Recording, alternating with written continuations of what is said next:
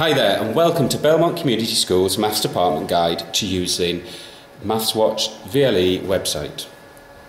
To access the website, in your browser, type in www.mathswatchvle.com. When you're on the web page, the centre ID is Belmont. Your username is the same username you have to use in school. Your password is exactly the same as your username.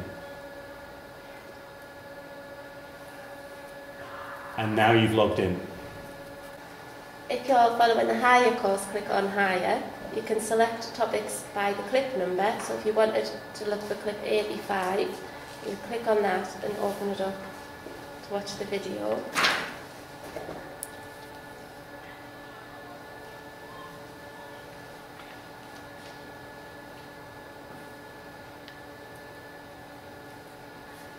If you would like to look for something by topic, click on topic and then you can search through for percentages.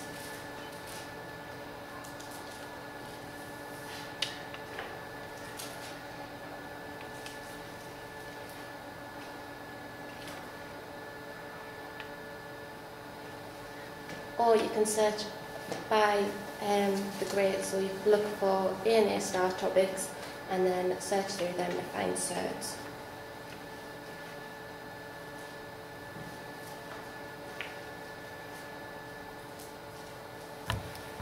If you click on the link underneath, it opens up a worksheet where you can do some practice questions on that topic.